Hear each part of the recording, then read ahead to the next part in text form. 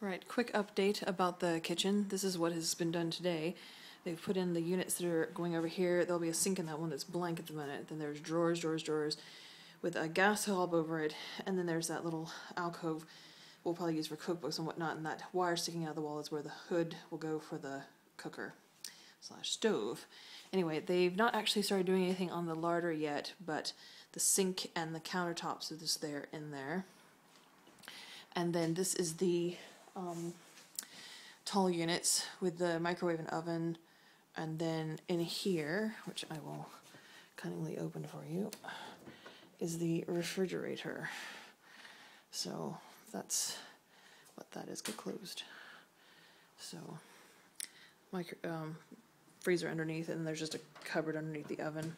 And then this blanket right here will be the larder where we keep everything.